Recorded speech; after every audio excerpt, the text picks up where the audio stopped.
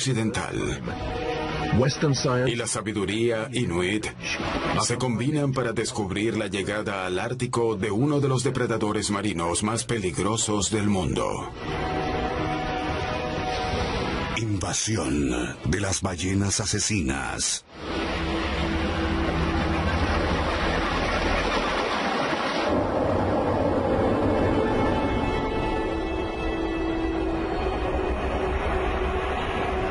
Este es el Ártico tal como lo conocemos. Un océano atrapado en el hielo casi todo el año.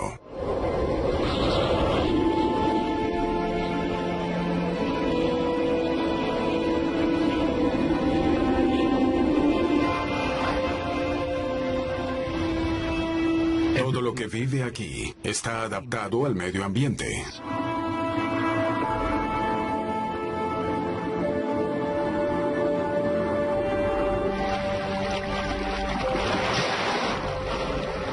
Ballena de Groenlandia vive aquí todo el año. Su grasa corporal las mantiene calientes.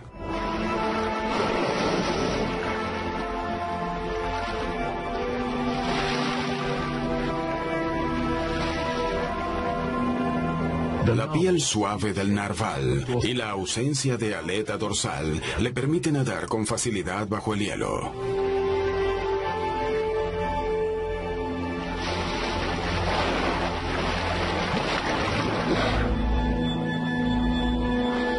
Sí, las focas bebé usan el hielo como plataforma para comer y descansar. Provocando al carnívoro terrestre más grande de la Tierra. El oso polar.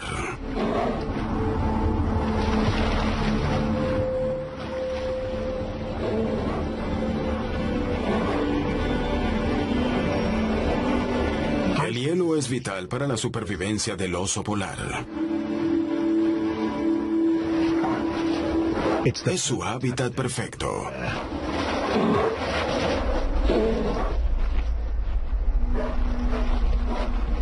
Sus patas adaptadas al hielo y su gran olfato le dan una enorme ventaja sobre sus presas. Usan el hielo para acercarse lo más que pueden, atacan desde arriba y lo atraviesan para atrapar a las focas.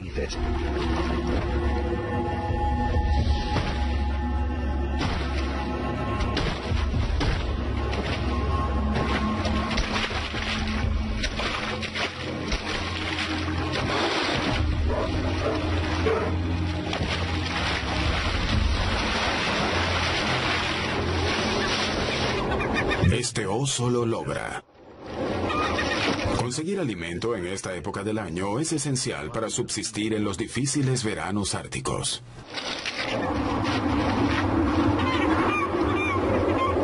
Toda la fauna del lugar depende del hielo, en especial el oso polar.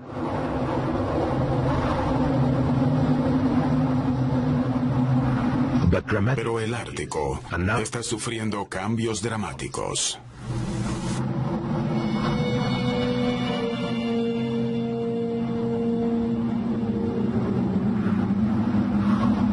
Es una de las regiones de más rápido calentamiento de la Tierra y se descongela a un ritmo asombroso.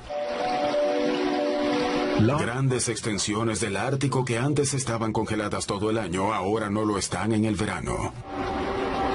Existen muchas opiniones sobre los cambios que la región sufre. Pero en la actualidad, existe el consenso de que el 40% del mar helado de verano se ha perdido en los últimos 30 años. Y sin mar helado durante todo el año, los osos polares están hambrientos.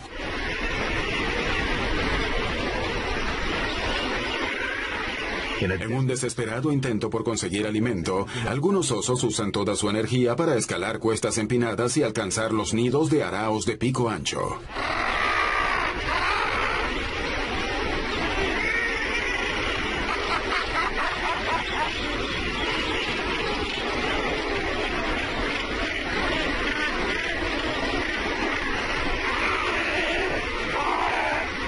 El esfuerzo para alcanzarlos es muy grande y a veces no da recompensas.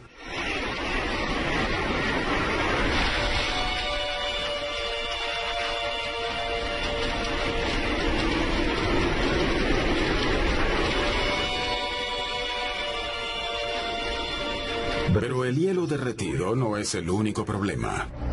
En la superficie, los efectos del calentamiento también son alarmantes.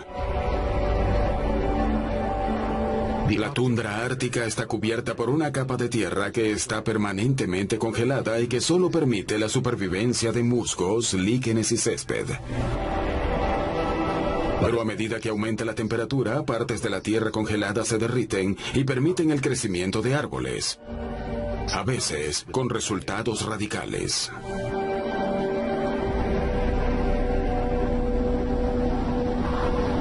Durante el verano de 2008 se produjo el primer incendio forestal registrado en la historia del Ártico Occidental. En esta región ni siquiera existe la palabra incendio forestal en el dialecto local inuit.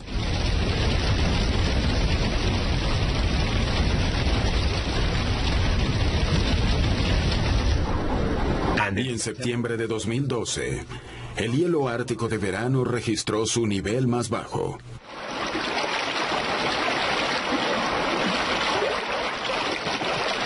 El mundo del oso polar está desapareciendo bajo sus pies. Y mientras eso ocurre, surgen historias de uno de los depredadores marinos más poderosos del planeta que aprovecha la situación.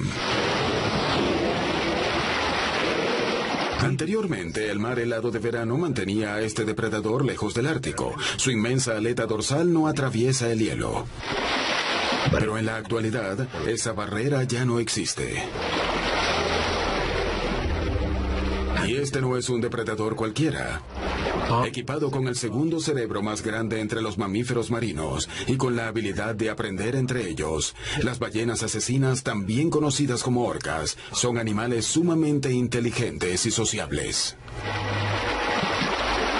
Los primeros en advertir su presencia fueron los Inuit, los nativos de la región. Sanome y Gamelika Lukishak son testigos de su presencia aquí. Ahora hay más ballenas asesinas. En el pasado solo las veíamos una vez en el verano. Ahora se ven con mucha más frecuencia.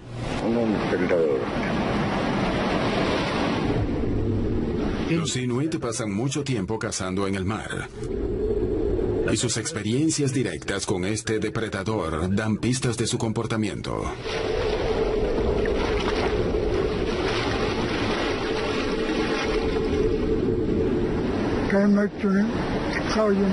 Sabemos que comen focas y narvales.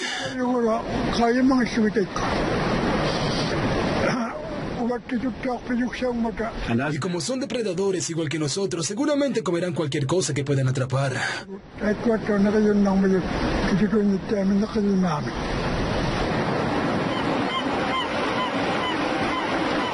Para los nativos de la región, el verano ártico siempre ha sido un momento de caza que ahora deberán compartir con las ballenas asesinas.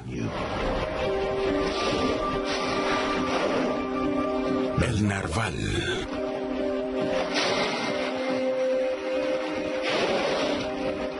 El narval pasa la mayoría del tiempo bajo el agua y vive bajo el hielo durante el invierno.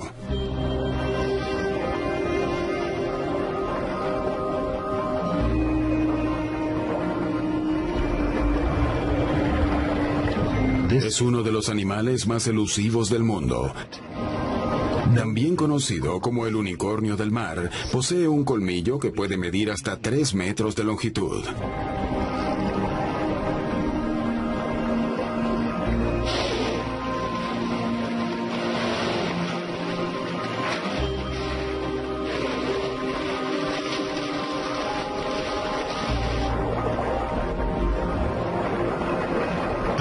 Hace poco, el narval vivía en paz sin preocuparse por los depredadores marinos. Pero las cosas han cambiado. Un día cazaba narvales y los vi escapar de unas ballenas asesinas. Las ballenas nadaban rápido y al revés. Iban abriendo el agua mientras perseguían a los narvales. Cuando llegaron a la costa en donde estaban los narvales, mordieron a varios muy rápido. Ahí fue cuando me di cuenta de que son unos increíbles cazadores.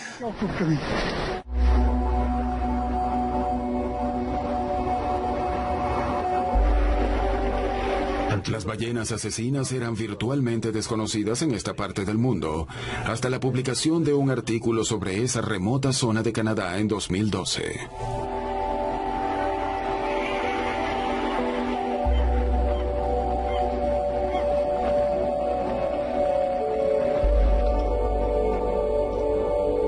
La investigación fue realizada por Steve Ferguson, biólogo marino del Ministerio de Pesca y Océanos de Canadá y conocedor del Ártico. He trabajado en el Ártico por más de 30 años y en ese tiempo he visto muchos cambios. La mayoría de los científicos estábamos al tanto de los cambios del Ártico y queríamos entender por qué sucedían. Los anticipamos desde el principio. El calentamiento de las aguas afecta principalmente a los organismos al final de la cadena alimenticia, lo que a su vez afecta la dieta de los animales más grandes. Pero ahora es diferente. Los cambios empiezan en la cima de la cadena alimenticia, no al final. Al parecer, las ballenas asesinas han desequilibrado el ecosistema desde la parte superior de la cadena. Llegamos a la conclusión de que la ballena asesina era el depredador responsable de los cambios en el Ártico canadiense. Fue algo que no consideramos al principio, pero era obvio que esa era la respuesta. El equipo de Steve se interesó en los avistamientos de ballenas asesinas que empezaron a recibir. Desde entonces ha entrevistado a más de 100 cazadores inuit en más de 10 comunidades, lo que se ha convertido en una mina de información. Charlie Inuarak ha vivido en esta parte del Ártico toda su vida y es uno de los mejores cazadores de la región. El año pasado salimos a cazar narvales. Y mientras estábamos en el campamento, un gran número de narvales llegaron a la costa. Poco después vimos un grupo de ballenas asesinas, unas seis o siete. Buscábamos nuestro equipo porque sabíamos que si la seguíamos podíamos encontrar narvales.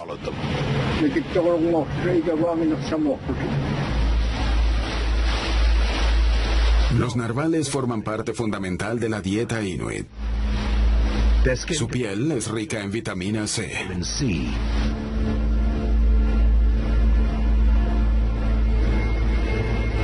En los últimos veranos, Charlie ha visto con preocupación que las ballenas asesinas están cazando narvales.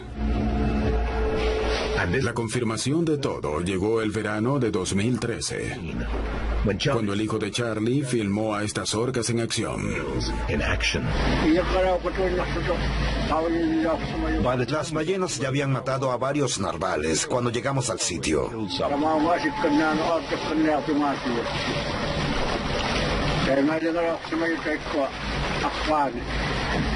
Durante los siguientes días, las ballenas asesinas permanecieron en el lugar cazando y comiendo muchos narvales.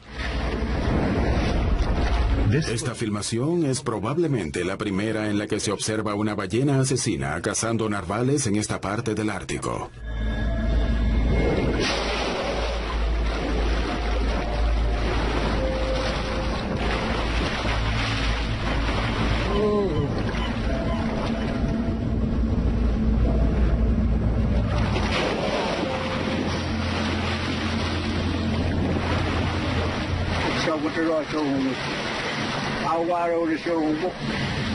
Vimos unas enormes ballenas asesinas comiéndose la grasa que flotaba. El resto de las ballenas se comían a los narvales bajo el agua. Incluso después de haber comido, siguieron cazando y matando narvales.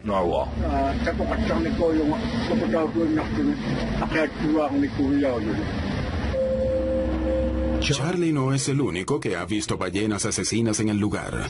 Los avistamientos se extienden por todo el Ártico canadiense. Mi experiencia fue en agosto, cuando el hielo está débil y se rompe. Ahí es cuando empiezan a llegar. Lo que se hizo evidente con las entrevistas a los Inuit fue que las ballenas asesinas aparecían en una época específica del año.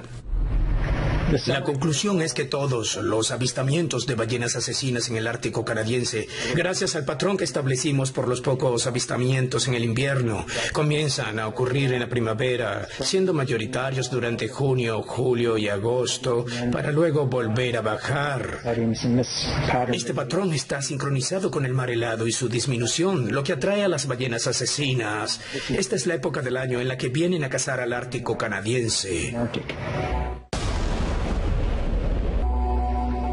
Varios grupos de ballenas asesinas viajan al Ártico canadiense desde lugares lejanos en el Atlántico Occidental.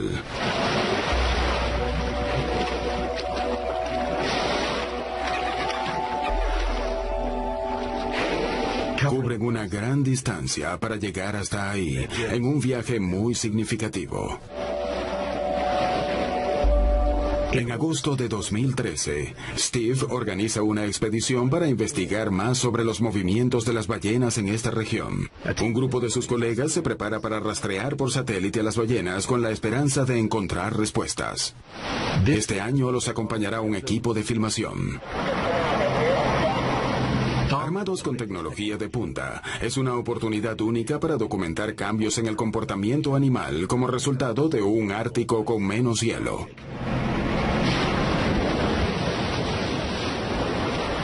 Con los testimonios de los Inuit como guía y sabiendo que los avistamientos se dan unas semanas durante el verano, la tarea del equipo es formidable.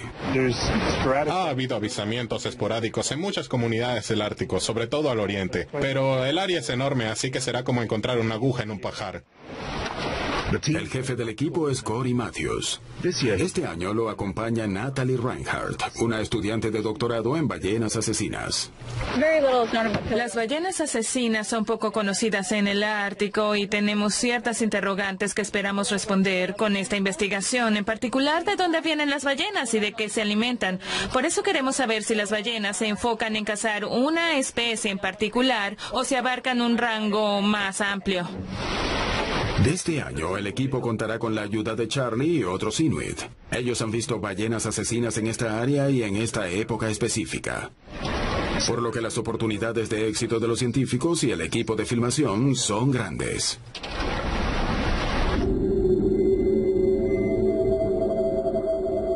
Equipo comienza en la Ensenada Pond, en la costa norte de la isla Baffin. Se dirigen al oeste con la esperanza de estar en el lugar indicado cuando las ballenas asesinas pasen.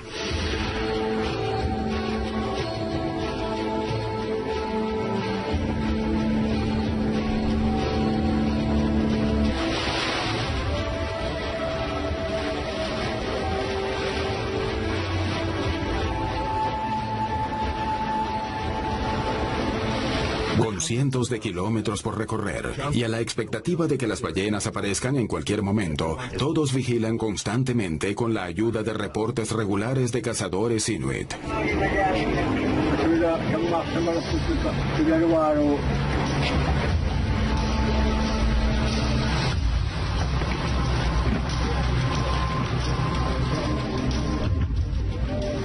Y con la ayuda de ballestas inofensivas, le colocan etiquetas satelitales a las ballenas. Gracias a estas etiquetas podrán rastrear sus movimientos por tres meses.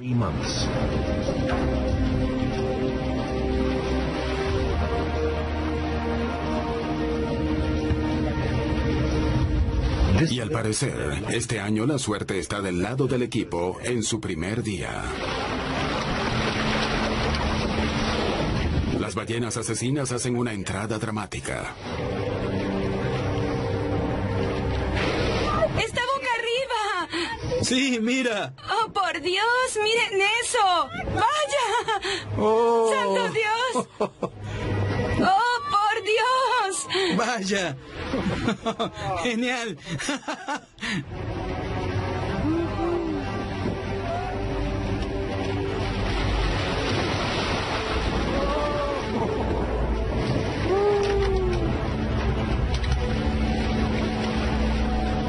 Deben acercarse lo más posible para poder etiquetar a las ballenas. Oh, vaya.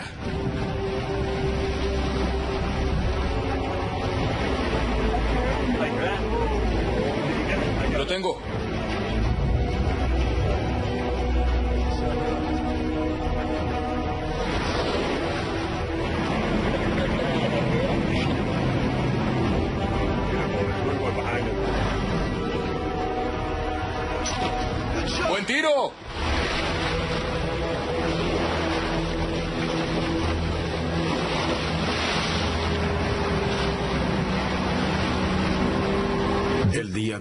Sido asombroso para el equipo.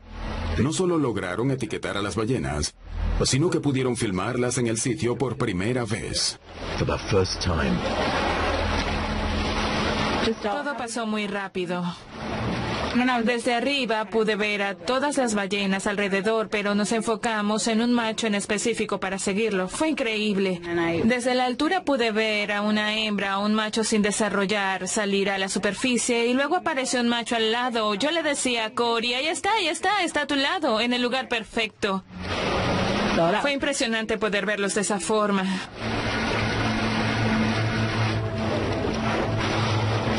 En los días siguientes, el equipo logra etiquetar cinco ballenas y hacerle biopsias y fotografías a gran parte de la manada. Vine pensando en la posibilidad de no encontrarlas. Me estaba preparando para lo peor, por lo que me siento muy afortunada. Te sientes privilegiada al poder observar algo que muy pocos han visto.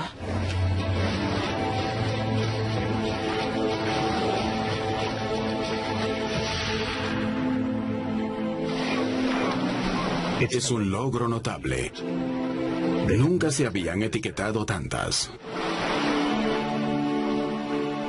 Pero esto es apenas el comienzo. Ahora deben seguirlas y descubrir qué hacen aquí.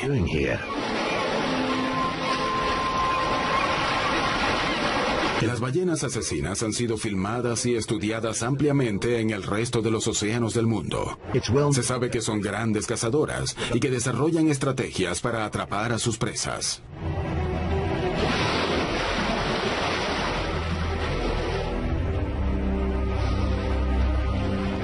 En la costa oeste del Canadá siguen la migración anual del salmón. En Nueva Zelanda nadan hasta el fondo para atrapar rayas con gran precisión sin sufrir ataques.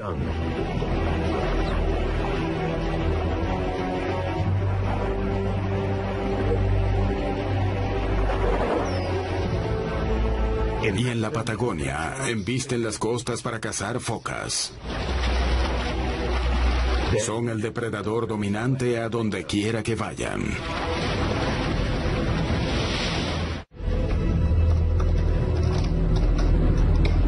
Que pueden rastrearlas, es una gran oportunidad para averiguar cómo y qué cazan. Es increíble que hayamos etiquetado cinco ballenas en un par de días. Nunca antes se había etiquetado tantas en el Ártico canadiense ni en ningún otro lugar del mundo, lo que es impresionante. Casi de inmediato, las etiquetas satelitales revelan información sobre las ballenas asesinas. Las cinco ballenas etiquetadas siguen juntas. Las locaciones eh, satelitales muestran que están juntas y nos daba curiosidad saber si las ballenas seguirán juntas o si se dispersarán en grupos más pequeños. Pero al parecer estas han permanecido juntas. Son cerca de 20 ballenas en total. Las etiquetas le dan al equipo de filmación una ventaja crucial. La oportunidad de seguir a las ballenas asesinas y documentar sus hábitos de cacería. Las etiquetas indican que se encuentran en la ensenada Admiralty.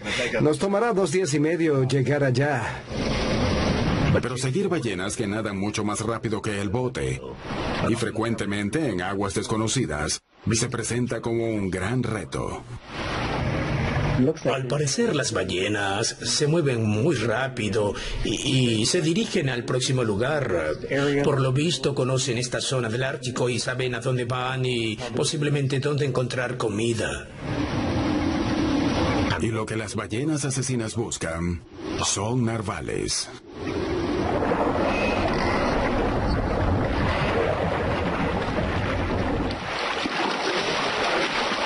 De momento, los narvales se dirigen a las bahías y ensenadas que sirven como guarderías veraniegas para más de la mitad de la población total, que es de 80.000.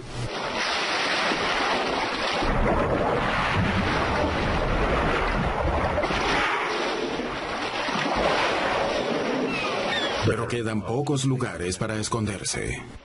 Para los narvales, el verano se ha convertido en una época peligrosa. Steve sigue la ruta de las ballenas etiquetadas. Y sus movimientos sugieren que conocen la ubicación de los narvales. Las ballenas se desplazan juntas en grupos de cinco y a gran velocidad en un promedio de 200 kilómetros diarios. Se acercan rápidamente a la próxima ensenada y el sondeo aéreo indica que la mayoría de los narvales se encuentran justo ahí. Estas ensenadas son el destino final del viaje de los narvales. En su viaje también los acompañan sus crías recién nacidas los meses previos.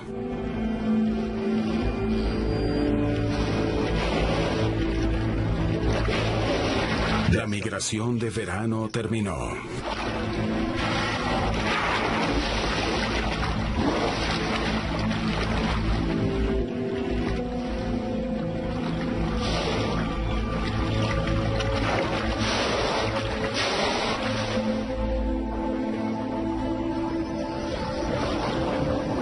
Hace poco, las ensenadas resguardadas eran lugares seguros para criar a sus bebés.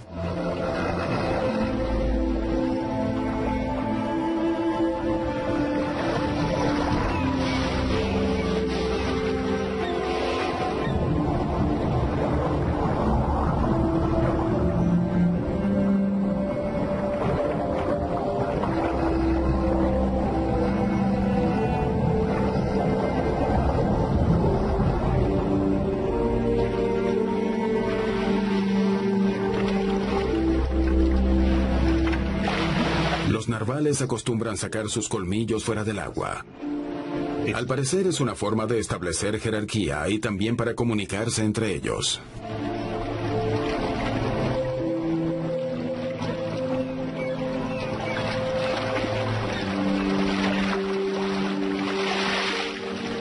Enseñar los colmillos y nadar en círculos significa que todo está en paz por ahora.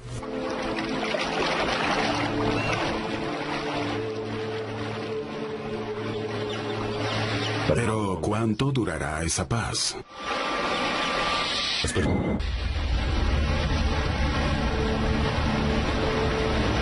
Perseguir ballenas asesinas capaces de nadar 200 kilómetros al día ha sido una ardua tarea para el equipo de filmación.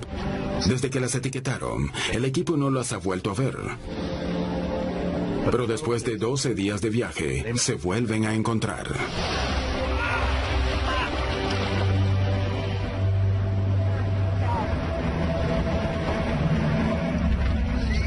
Es por allá, probablemente.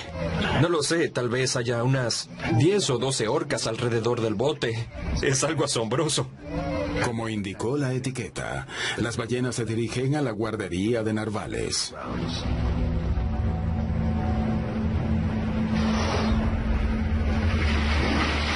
Todavía están aquí, siguen aquí. En la distancia, un gran equipo de narvales nada rápido y cerca de la costa. Y no muy lejos están las ballenas etiquetadas a la caza.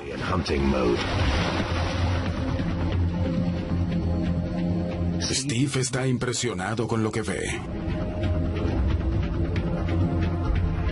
La presa debe ser algo diferente. Las ballenas asesinas son más veloces. Los narvales se quedan cerca de la costa y nadan rápido, tratando desesperadamente de escapar de las ballenas asesinas. El comportamiento de manada de los narvales es increíble. Tal vez no sea la mejor estrategia, pero cuando estás asustado buscas compañía. Al parecer, la única esperanza de los narvales está en la cantidad. Estoy seguro de que están aterradas. Este es el depredador más aterrador desde el tiranosaurio Rex. Los movimientos de las ballenas asesinas son organizados y coordinados. Son un grupo implacable, listo para atacar.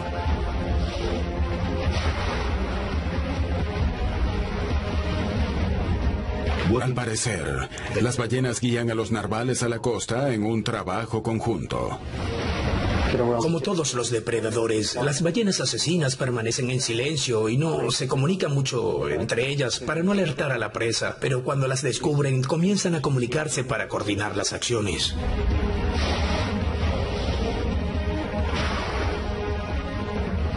Pero lo que más le sorprende a Steve es lo que las ballenas hacen a continuación.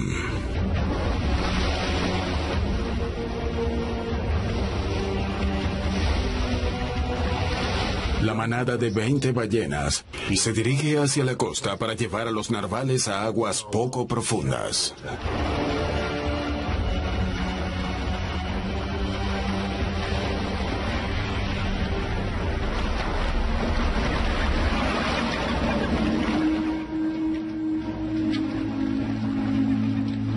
El equipo no sale de su asombro.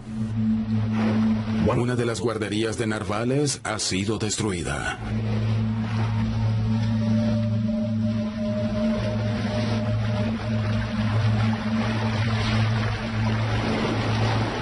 Es asombroso, simplemente asombroso. Un narval solitario trata de escapar.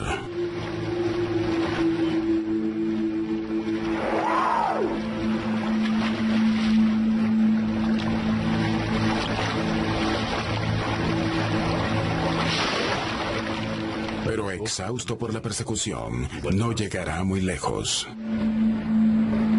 Luego, el equipo de filmación capta a una ballena arrastrando al último narval sobreviviente a las profundidades.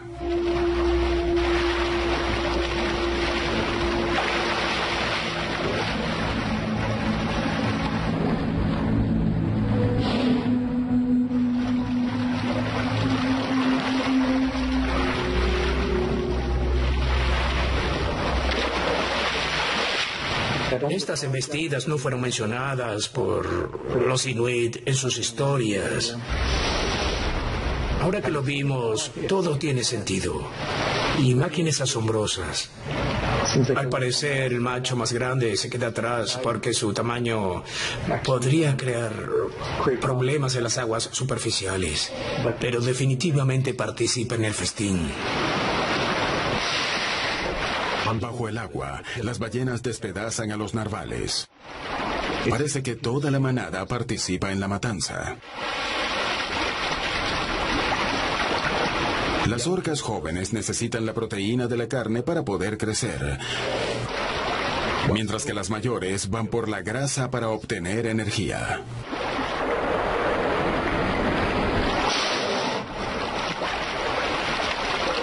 Las ballenas asesinas supieron cómo atrapar a los narvales. Desarrollaron una táctica específica para esta presa en particular. Es la primera vez que veo estas imágenes, son asombrosas. Es justo el tipo de grabación que buscaba. Es otro ejemplo de la increíble habilidad de las ballenas asesinas para adaptarse al lugar al que van. Mientras que las ballenas aprovechan las aguas descongeladas, el viejo rey del Ártico lucha por sobrevivir. Sin una plataforma de hielo para cazar, la búsqueda de alimento es difícil. Y las alternativas son pocas y lejanas.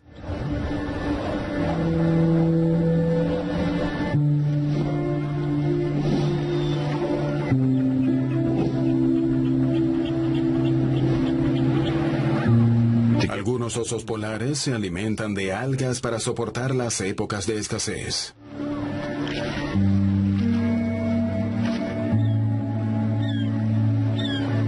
Y aunque contiene minerales, no es suficiente para un animal cuya dieta se basa en grandes cantidades de grasa de focas. Ellos dependen del hielo y tiene que haber un mar helado y mientras menos mar helado haya, será peor para el oso polar. En contraste, mientras más aguas abiertas haya, será mejor para las ballenas asesinas. En lo que respecta a los depredadores en el Ártico y en particular en las áreas del sur, abundan cada vez más en las aguas abiertas, un hábitat que favorece a las ballenas asesinas y perjudica a los osos polares.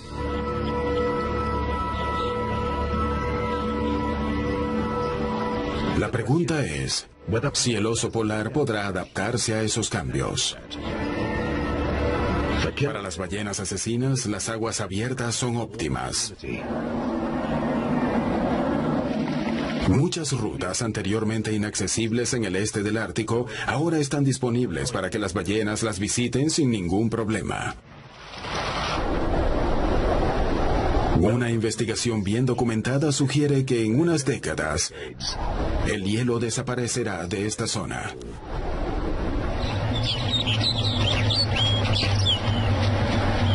¿Cómo harán los osos polares para sobrevivir este cambio tan profundo?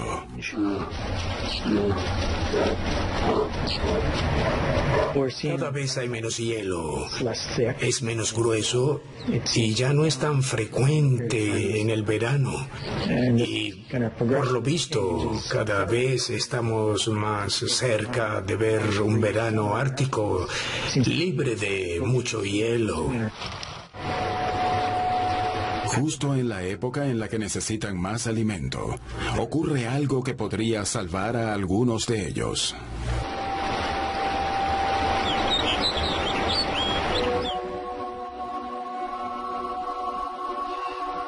Estamos en el río George, al norte de Quebec, hogar de una de las migraciones más grandes del Ártico, la trucha ártica.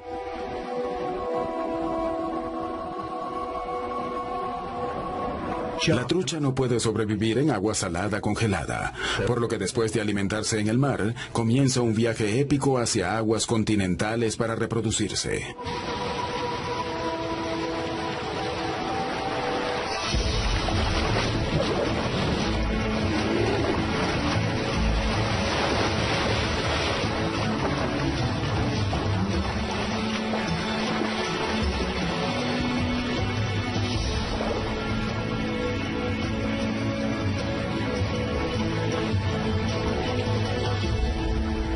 Algo muy distinto a la típica cacería sobre hielo.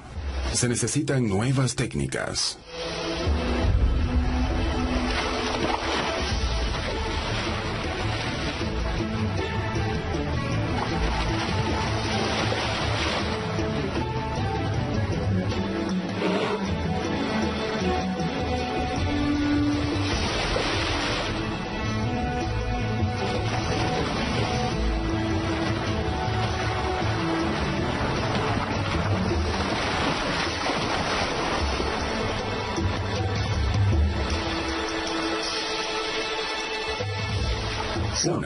Son más exitosas que otras.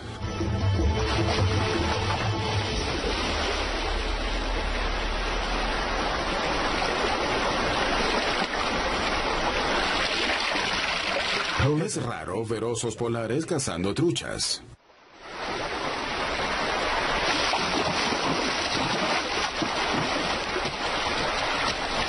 Este comportamiento indica que algunos osos polares son capaces de adaptarse al cambio climático.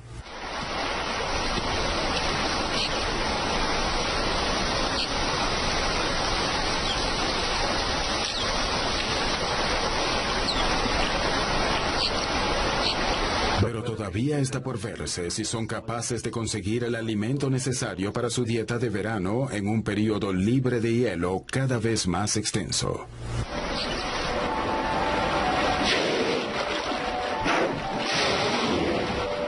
Ha sido un verano extraordinario para el equipo que estudió las ballenas asesinas. Fue el más exitoso desde que el proyecto de etiquetas comenzara hace cinco años.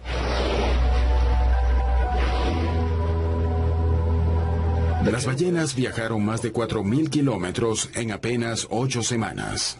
Durante su recorrido comieron mucho. Nos sorprendió realmente lo que observamos. Los cambios se dan de arriba hacia abajo. El hecho de que las ballenas asesinas lleguen a ser un depredador tan dominante puede significar la desaparición de muchas ballenas en las poblaciones del sur. La distribución podría cambiar completamente y el narval y las ballenas beluga podrían retirarse más hacia los polos. Tal vez no se establezcan ahí, pero las que habitan en el sur podrían ser víctimas de las orcas y no sobrevivir ahí por mucho tiempo. Y mientras el hielo disminuye, su llegada podría adelantarse cada vez más y su estadía podría ser más prolongada. Nuestra preocupación es que las presas no podrán estar a salvo de las ballenas asesinas por la ausencia del mar helado. Un mamífero marino dominante en el resto del mundo ahora también lo es en esta parte del mundo. Este depredador simboliza el cambio del Ártico. Y este cambio no solo afecta a la vida salvaje. También es un gran problema para los inuit. Ellos cazan ballenas adaptadas al hielo y focas. Es su sustento, es vital para ellos.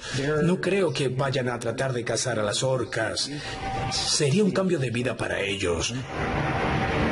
Debemos esperar a ver qué pasa. Mientras los cambios suceden, podemos tener una idea de qué pasará, pero estoy seguro de que habrá sorpresas. Pasarán cosas que no habíamos anticipado.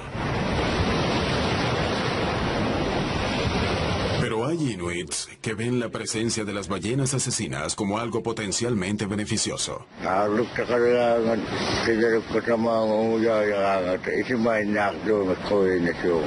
Cazamos narvales y las ballenas asesinas las acercan a la costa por nosotros, lo que nos facilita el trabajo.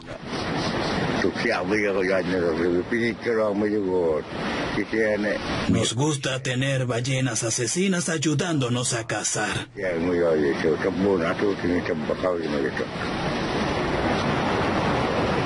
¿Por cuánto tiempo las ballenas asesinas serán beneficiosas para los Inuit? Es algo que está por verse. Hay pocos lugares en el mundo que estén sufriendo cambios tan profundos como el Ártico. El futuro de este mundo de hielo está en peligro.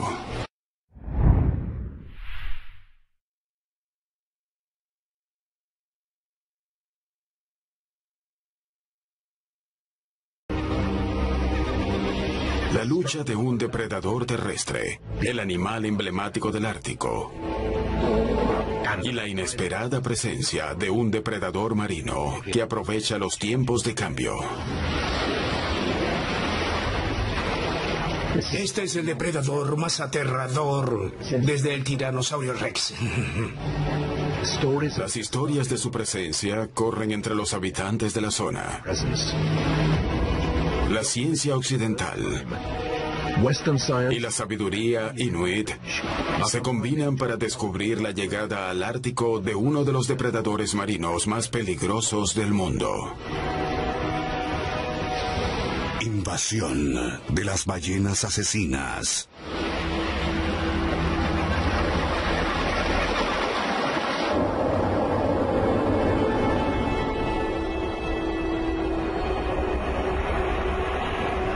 Este es el Ártico tal como lo conocemos. Un océano atrapado en el hielo casi todo el año.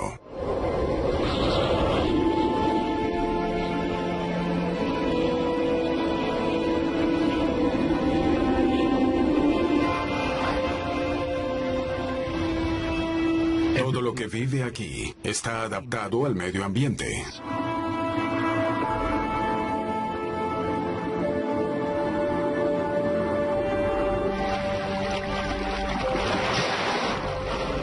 La ballena de Groenlandia vive aquí todo el año.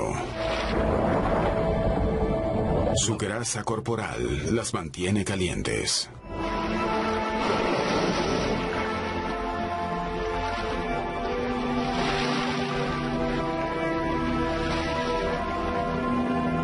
La piel suave del narval y la ausencia de aleta dorsal le permiten nadar con facilidad bajo el hielo.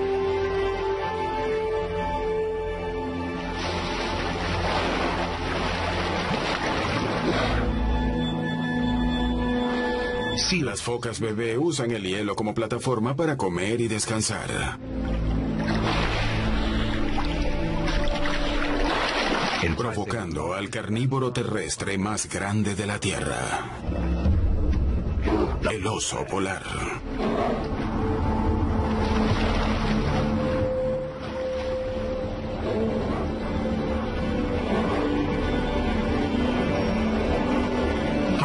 Es vital para la supervivencia del oso polar.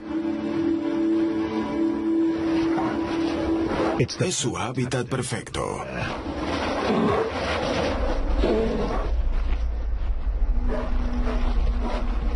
Sus patas adaptadas al hielo y su gran olfato le dan una enorme ventaja sobre sus presas.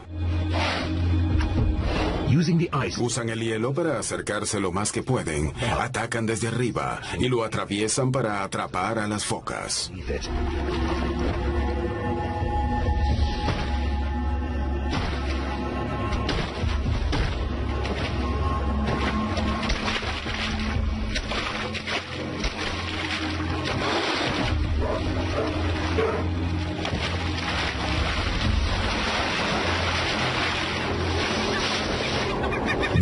Este oso lo logra.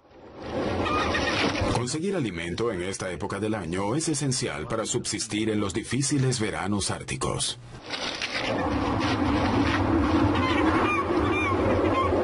Toda la fauna del lugar depende del hielo, en especial el oso polar.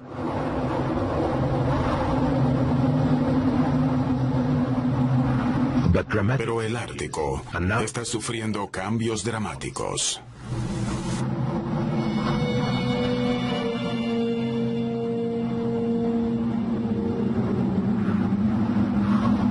Es una de las regiones de más rápido calentamiento de la Tierra y se descongela a un ritmo asombroso. Grandes extensiones del Ártico que antes estaban congeladas todo el año ahora no lo están en el verano.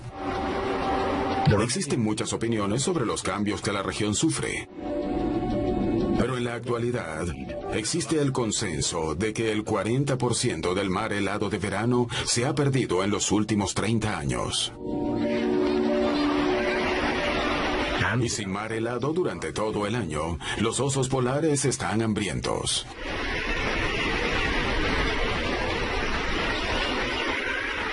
En un desesperado intento por conseguir alimento, algunos osos usan toda su energía para escalar cuestas empinadas y alcanzar los nidos de araos de pico ancho.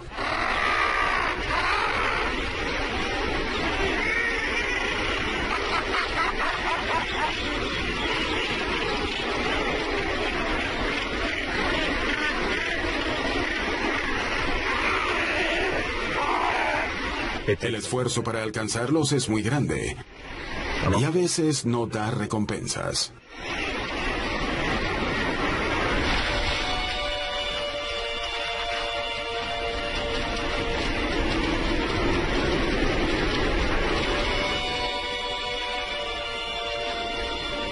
Pero el hielo derretido no es el único problema. En la superficie, los efectos del calentamiento también son alarmantes. La tundra ártica está cubierta por una capa de tierra que está permanentemente congelada y que solo permite la supervivencia de musgos, líquenes y césped. Pero a medida que aumenta la temperatura, partes de la tierra congelada se derriten y permiten el crecimiento de árboles.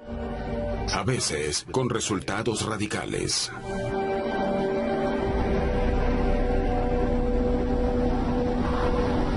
Durante el verano de 2008, se produjo el primer incendio forestal registrado en la historia del Ártico Occidental. En esta región ni siquiera existe la palabra incendio forestal en el dialecto local inuit.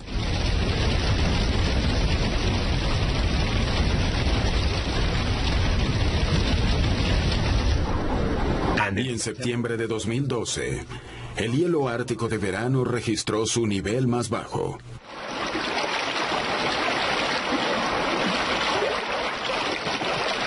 El mundo del oso polar está desapareciendo bajo sus pies. Y mientras eso ocurre, surgen historias de uno de los depredadores marinos más poderosos del planeta que aprovecha la situación. Anteriormente, el mar helado de verano mantenía a este depredador lejos del Ártico. Su inmensa aleta dorsal no atraviesa el hielo. Pero en la actualidad, esa barrera ya no existe. Y este no es un depredador cualquiera. Equipado con el segundo cerebro más grande entre los mamíferos marinos y con la habilidad de aprender entre ellos, las ballenas asesinas, también conocidas como orcas, son animales sumamente inteligentes y sociables. Los primeros en advertir su presencia fueron los Inuit, los nativos de la región. Sanome y Gamelika Lukishak son testigos de su presencia aquí. Ahora hay más ballenas asesinas. En el pasado solo las veíamos una vez en el verano. Ahora se ven con mucha más frecuencia.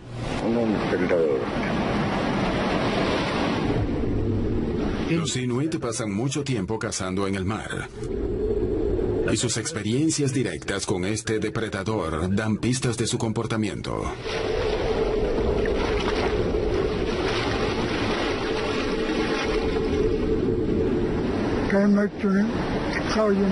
Sabemos que comen focas y narvales.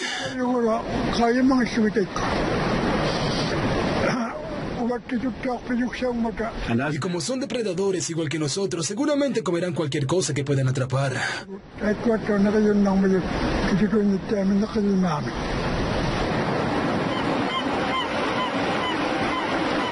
Para los nativos de la región, el verano ártico siempre ha sido un momento de caza que ahora deberán compartir con las ballenas asesinas. El narval.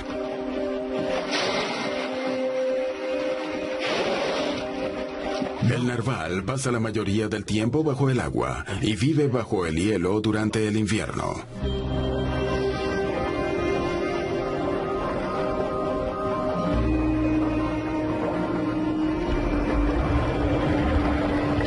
Es uno de los animales más elusivos del mundo. También conocido como el unicornio del mar, posee un colmillo que puede medir hasta 3 metros de longitud.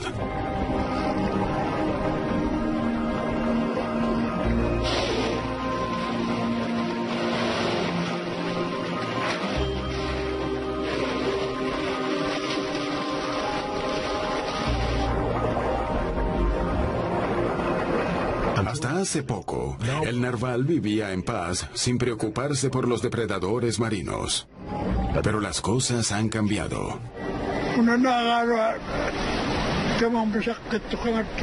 Un día cazaba narvales y los vi escapar de unas ballenas asesinas. Las ballenas nadaban rápido y al revés. Iban abriendo el agua mientras perseguían a los narvales. Cuando llegaron a la costa en donde estaban los narvales, mordieron a varios muy rápido. Ahí fue cuando me di cuenta de que son unos increíbles cazadores.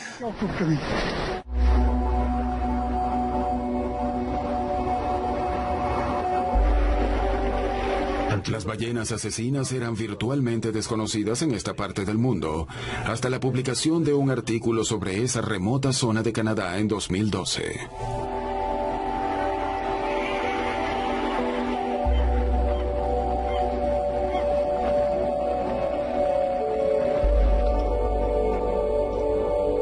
La investigación fue realizada por Steve Ferguson, biólogo marino del Ministerio de Pesca y Océanos de Canadá y conocedor del Ártico.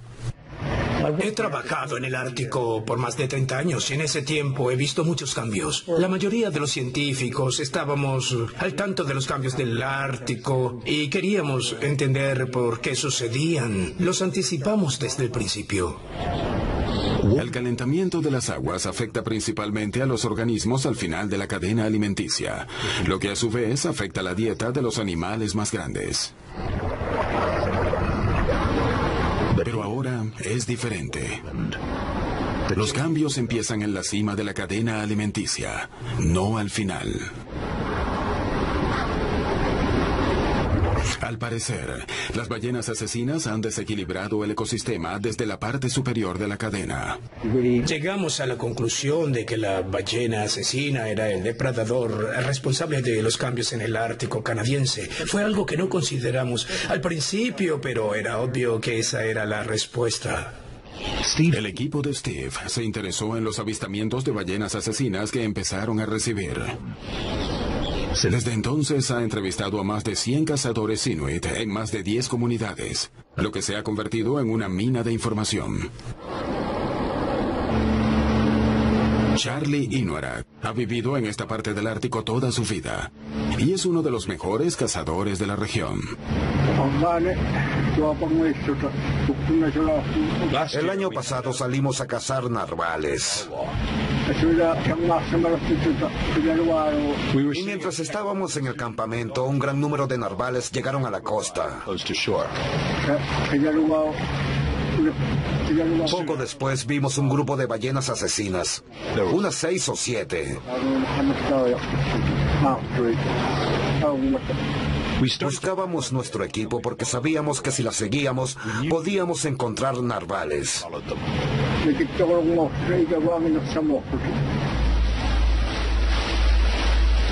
Los narvales forman parte fundamental de la dieta inuit. Su piel es rica en vitamina C.